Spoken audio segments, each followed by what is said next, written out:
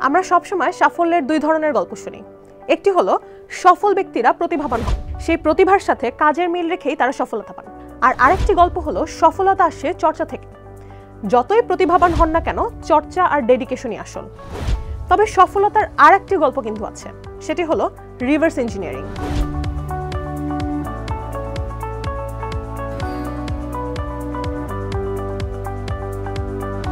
Reverse engineering বলতে কোনো কিছু আপাত দৃষ্টিতে যেমন দেখা যাচ্ছে, তার বাইরে গিয়ে জিনিসটা কীভাবে কাজ করে সেটা বের করতে চেষ্টা করা।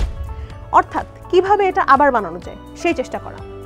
তবে শুধু প্রযুক্তি বা যন্ত্রের ক্ষেত্রে নয়, যে কোনো বিষয়ে এই রিভার্স ইঞ্জিনিয়ারিং কাজে লাগানো যায়। যেমন হুমায়ুন আহমেদের লেখা, কীভাবে পাঠকদের ধরে রাখে? অথবা বিভূতিভূষণ তার লেখায় এত দারুণ বর্ণনা কীভাবে দেন? অথবা গার্মেন্ট ইন্ডাস্ট্রি গত কয়েক দশকে বাংলাদেশে এত সফল কীভাবে হলো? অর্থাৎ রিভার্স ইঞ্জিনিয়ারিং হলো, যে কোনো সাফল্য কীভাবে হলো এবং কীভাবে তা আবার তৈরি করা যায়, সেই রহস্য ভেদ করতে পারা। এই গুণ থাকলে যে কোনো ফিল্ডে দ্রুত কাজ শেখা আর মানিয়ে নেয়ার দক্ষতা অর্জন করা যায়। প্রথম ধাপ হলো সাফল্যের কিছু অসাধারণ উদাহরণ খুঁজে বের করা, যেগুলোকে বিশ্লেষণ করা যাবে। এই উদাহরণ বলতে হতে পারে কোনো লোগো ডিজাইন কোনো প্রেজেন্টেশন ডেক কোনো সুন্দরভাবে লেখা ইমেইল অথবা দারুণ কোনো বিজনেস প্রপোজাল চারপাশে খুঁজলেই এমন অনেক কিছু পেয়ে যাবেন সংগ্রহ করার মতো। কোনো কিছু সফল হলে কোন জিনিসটা তাকে অন্যদের চেয়ে আলাদা করছে সেটা খুঁজে বের করুন। আপনার সংগ্রহে জায়গা পাওয়া কাজগুলোর সাথে যেই কাজগুলো আপনার সংগ্রহে আপনি রাখেননি, তাদের মধ্যে পার্থক্য খুঁজে বের করুন। তাহলেই তার সাফল্যের উপকরণ বের করতে পারবেন।